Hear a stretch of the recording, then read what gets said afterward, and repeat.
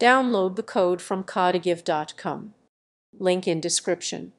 In part 3 of the JavaScript tutorial for beginners, the focus is on understanding variables, which are essential for storing and manipulating data in programming.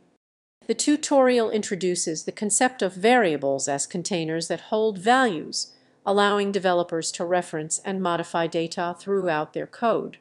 It emphasizes the importance of variable naming conventions, encouraging meaningful and descriptive names to enhance code readability. Additionally, the tutorial covers the different types of variables available in JavaScript, including var, let, and const, explaining their scopes and use cases. The differences between these keywords are highlighted, particularly in terms of how they handle variable reassignment and hoisting. By grasping these fundamental concepts, beginners lay a crucial foundation for effective coding practices enabling them to build more complex applications as they progress in their learning journey.